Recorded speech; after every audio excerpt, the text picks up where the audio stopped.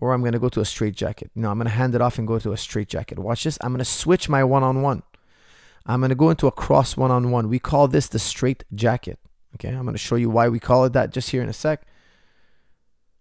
Here's the routine again. Guys, don't worry if this routine seems complicated. I'm going over and over uh, the routine again with more and more details. Okay, so the hands are high. They're in the upper quadrant.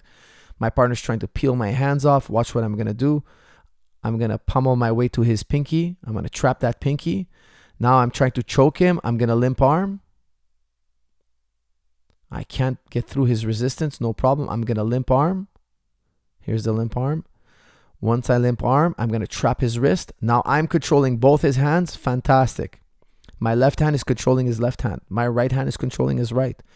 Watch what I'm going to do. I'm going to do a swap. I'm going to swap the two. I'm going to swap the left for the right and now I have him what we call a straight jacket. Okay, one of the best controls you can have. Now here's why. Here's a here's me pulling my elbows to my side. Okay, you see me pulling my elbows to your side, my side. You would never want to do this. Okay, when you have a straight jacket. This is just me showing you why we call it a straight jacket. Look, he looks like a like he's in an insane asylum, and we put a straight jacket on him. Okay, but you don't need to tuck your elbows in. You're just simply gonna hold him in this fashion that I'm doing right now.